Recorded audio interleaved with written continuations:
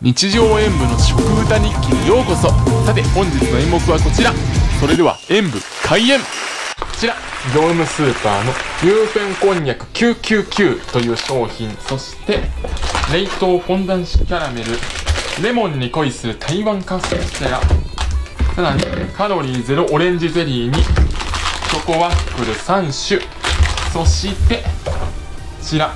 タリーズの黒泡のガッサータという商品を食べてレビューしていきたいと思います。飲んでもなんかこのガッサータコーヒーかける炭酸って書いてるんですけどなんかありそうでなかった商品ですね。本来はグラスに注ぐのが美味しいらしいですがグラスがないのでもうこのまま飲みます。また炭酸回突っ込まれそうです。ただ今回ちょっとこの999というのはかなり多いのでまあ袋を開けたものはしっかり食べますけどもしかしたら何個か商品が紹介できなくなるかも。反対にちょっと物足りないと思って追加するかもしれませんが、まあ、そっちはまずそまあその時はまた後日日を改めて紹介しますね。ではまずこの999というものを出していきたいと思います。量同じく量が多いので今回は999を食べながら合間合間に他のものを食べていこうかなと思います。では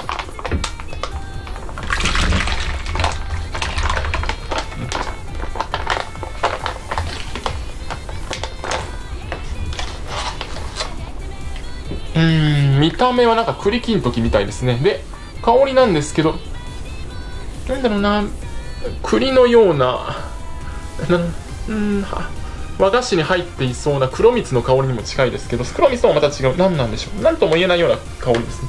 なんかプルプルしてますしでは食べていきたいと思います。いただきます。チャンネル登録よろしくお願いします。うーん、あれ？商品の数、テロップに表示されてるのが少なくなってない？これって。はい。お察しの通りやらかしました。見事なフラグ回収ですね。これは。もう笑われてもあれこれコメントに書かれても文句言えない。あーやっちゃったな。なんで丁寧にフラグ回収する？でもまあ他のものはしっかりいただきましたよ。時にはシュワッと甘酸っぱかったり。とろっとしたまろやかな甘さに癒されたり。というのはいいんですけど。あと苦味もくるな。だけど一番肝心の主役はこれどうなんだろうな。なんかリアクションに困るというかなんというか。まあどういう風に何が困っているのかについてはこの後すぐにレビューします。のでお楽しみに。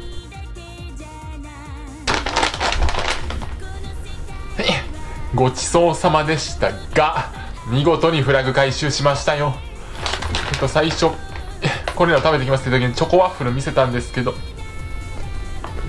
このユーフェンこんにゃく999の弾力と胃のたまる胃にたまる重さが予想以上にあってちょっとワッフルまでは食べられなくなってしまいました。なのでさっき最初に言った通りチョコワッフルの3種類は後日改めて食べてレビューしたいと思います。もしあなたが楽しみにしてくださっていたら申し訳ありません。は あもうこれゲ自分ゲーム実況やってますけどゲーム実況動画だったらフラグ回収オツとか書かれるんでしょうね。これ。はい。でそんなユーフェンこんにゃく999の感想なんですけどあだろうな。シロップは甘いんですけど団子自体にそこまで染み込んでるわけじゃないので団子自体は良くも悪くも味がない。もうほぼそのままのこんにゃくに近い。なのでお肉や野菜として調理するとあ色々鮮やかな料理に大変身とかスイーツとしてと。確かに万能なん確かに万能ではあるとは思うのですが一方で悪く言うとどっちつかず。なので自分はこのまま食べましたけどもうはっきり言ってしまえば最初もう長々言ってますけどねはっきり言ってあそのまま食べるよりも調理して食べる商品と言えますね。なので自分が今やったようにそのまま食べるのは実際あんまりおすすめはできないです。ほとんど味がないのでただこんにゃく噛んでるだけみたいな。で次に食べたこちらのフォンダンキャラメルはとろーっとした甘いキャラメルがケーキ生地に浸透してシュワッと噛んだ瞬間に広がってきて美味しかったです。続いてのレモンに恋する台湾カステラ。これ通常版は食べたことあるんですけどレモン入りになってるので結構酸味爽やかな酸味がこうなんでしょうシャーって広がってきました。レモンがお好きなのであれば通常よりもこちらを食べた方がいいですね。そしてこちらのオレンジゼリー、まあ、0キロカロリーって書いてますけど本当かなと思いながらも結構オレンジの酸味が強くてまあダイエット中とかです。何かさっぱり食べたいスイーツが欲しいという時にいいと思いますね。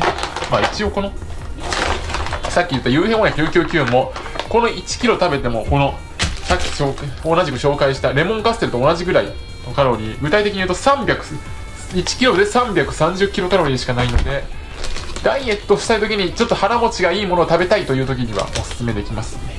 ですが今回食べた中でやはりこのフォンダンキャラメルがキャラメルの甘さを口の中でシュワーっと感じることができて一番美味しかったので代表として5点とさせていただきます。ご視聴ありがとうございました。コメントしていただけるとそしてよろしければ他の動画も見ていただけると動画を拡散していただけると嬉しいです。演舞終演。本日の演目はお楽しみいただけましたか？チャンネル登録コメント高評価していただけますと嬉しいです。ではまた明日の演目でお会いしましょう。それではさようなら。